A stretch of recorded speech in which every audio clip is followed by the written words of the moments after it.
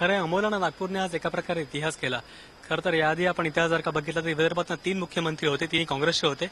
पण आता नागपुरातनं मुख्यमंत्री झाला तो भाजपचा झाला. एक तरुण उमेदवार तरुण नेता मुख्यमंत्री झाला याचा आनंद नागपूरकरांना आहे. त्यामुळे नागपूरचे अनेक जे प्रलंबित प्रश्न होते मार्गी लागतील असा एकूण नागपूरकरांना विश्वास आहे.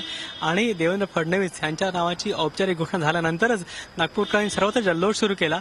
मग ते पक्षाचे कार्यकर्ते असतील त्यांचे दा- बालपणाचे मित्र असतील किंवा सर्वसाधारण नागपूरकर असेल प्रत्येकाला आनंद होतोय. आणि त्या काळात आज नागपूरचा जे प्रलंबित प्रश्न ते मार्गी लागतील असा विश्वास त्यांना आहे. आणि हा जो जल्लोष आज दुपारपासून सुरू झाला हा उद्यापर्यंत सुरू होईल. किंबहुना देवेंद्र फडणवीस मुख्यमंत्री शपथ घेण्यापर्यंत हा जल्लोष सुरूच राहणार आहे. आणि आता नागपूरच्या लोकांना वाट पा- नागपूरचे लोक वाट बघत आहेत की देवेंद्र फडणवीस यांची मुख्यमंत्रीपदी शपथ घेतल्यानंतर नागपूरला येण्याची. अमोल?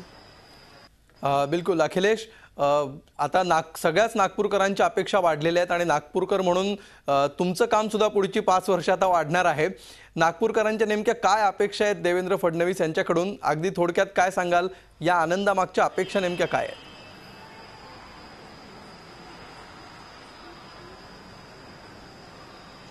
अमोल नागपूरच्या अनेक समस्या मग नागरी समस्या असतील शहराच्या असतील रस्त्यांच्या असतील वाहतुकीच्या असतील या सर्व समस्या कुठेतरी प- पार पडतील. अगदी मेहांची समस्या ज्यामुळे रोजगार निर्माण होईल.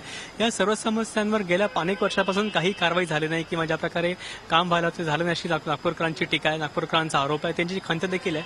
त्यामुळे हे सगळं नागपूरचे मूलभूत प्रश्न आहे सडक रस्त्याचे पाण्याचे वाहतुकीचे मिहांचे रोजगारीचे या सगळ्या प्रश्नांवर कुठेतरी तोडगा निघेल आणि नागपूर एकूण ज्या प्रकारे विकास झाला नाही तो ह्या पाच वर्षात पुढे होईल. आणि नागपूरचं एक नाव नागपूरचं लौकिक नाग- देशाच्या मोठ्या शहरांमध्ये होईल अशी व्यवस्था अशा प्रकार अशा प्रयत्न देवेंद्र फडणवीस करतील अशी व्यवस्था त्यांच्या माध्यमातून निर्माण होईल असा प्रश्न असा विश्वास नागपूरच्या लोकांना आहे. झी चोवीस तास रहा एक पाऊल पुढे.